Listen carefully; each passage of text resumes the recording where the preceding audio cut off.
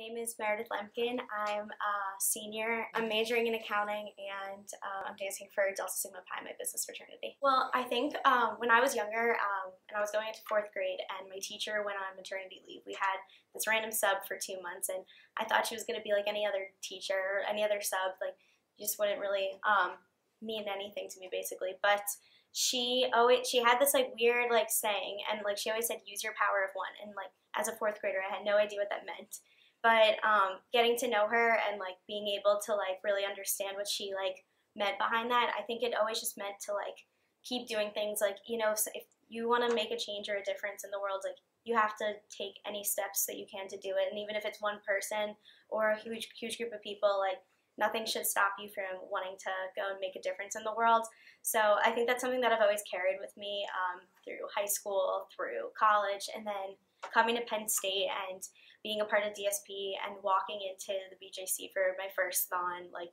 I just remember feeling tears and just thinking, okay, like I know I want to be a part of this cause, but how do I want to do it? And back then I thought I wanted to be a DR captain. And um, even though that wasn't the route I ended up taking, I think I found my purpose when coming to Penn State and coming and being a part of DSP and being a thon chair. And it's one of the most um, like it's one of the most like rewarding positions I could have ever taken on, and it's something I'm gonna miss so much about Penn State. I was very fortunate that up until I was 20 years old, I had three of my grandparents that still were living. And uh, September of my junior year, my one of my grandparents passed away, and in that seven month span, two, the rest of them had passed away, and it was one of the hardest years I'd ever had.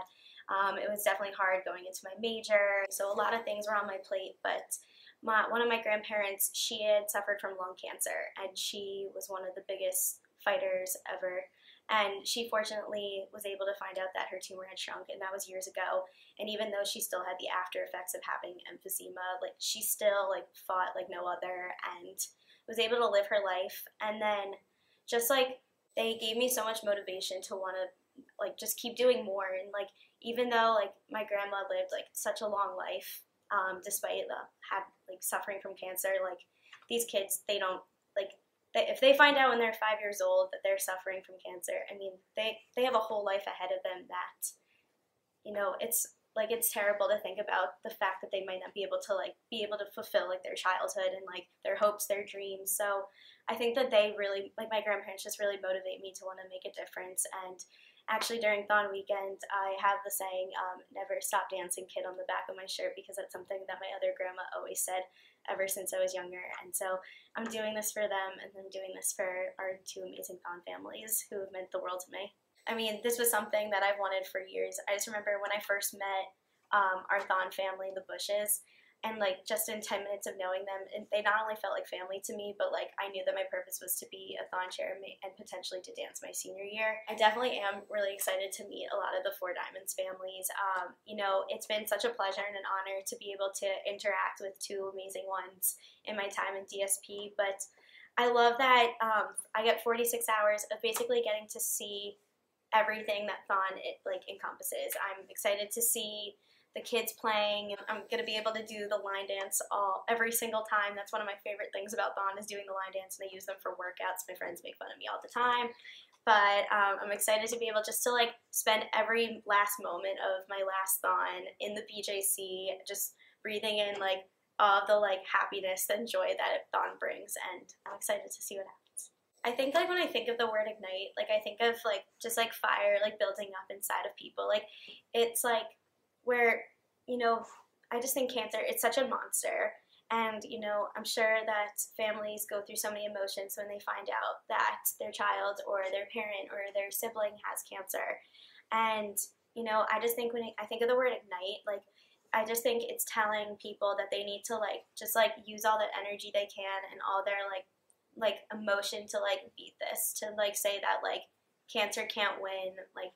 and i think that the theme is just like so telling of these families and of all the volunteers that no matter what that they're willing to stand up for cancer and make sure that one day everyone dances for a cure. So i'm thinking okay first of all in the dance break they have to have closer because i think that was a pivotal song this year. They need to have juju on that beat obviously. They're definitely going to make mention of harambe But I'm, I'm most excited for like when it gets to the final four and they do the last four years because I know them all and I have them all down pat. So I'm just gonna rock it. so I guess to everybody just like watching this, um, just like really take it in. Like you know, I mean, there's no experience like obviously being in the BJC, but for those who obviously can't be in the BJC, like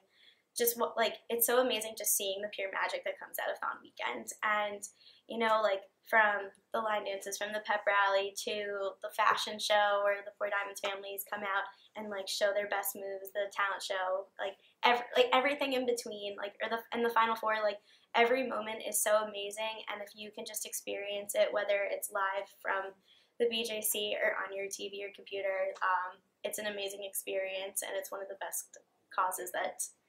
I've ever been a part of, and I'm so excited for what this weekend has to offer.